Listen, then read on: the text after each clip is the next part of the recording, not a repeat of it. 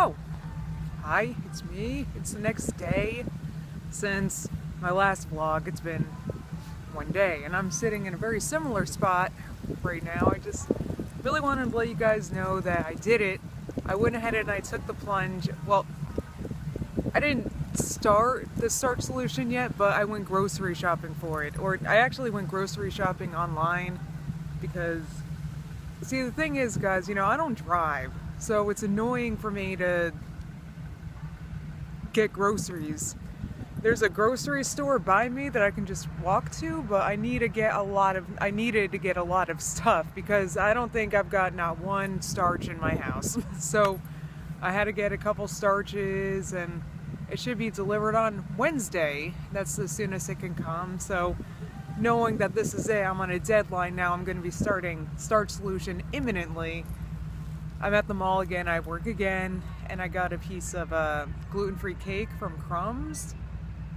And I feel kind of, uh, I just ate it quickly because I, I'm hungry.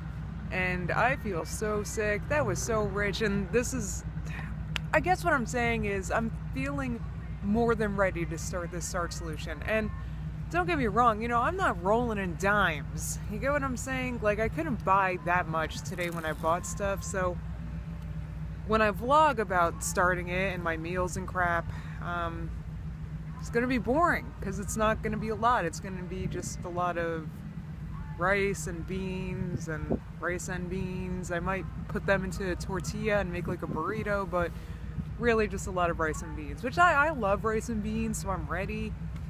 I got some zucchini and other things, but mostly rice and beans and some pasta and I didn't get no potatoes, no potatoes, not yet. I'll get potatoes eventually, but I just can't imagine myself baking up like 12 potatoes and eating them all. I don't know, I'm just not there yet. So let me start slow, okay?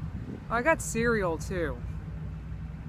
Like just cereal, like rice Chex I think I got because I'm lazy. See, that's the thing. These are going to be super lazy these these vlogs that I'm guys I've been so obsessed with this whole starch solution thing that I just can't see myself starting this and not vlogging about it inc incessantly because I am so excited about it but I don't really have anyone to talk to about it so you guys are gonna have to be that person for me okay? I'm so glad that I have you guys to talk to about this stuff seriously.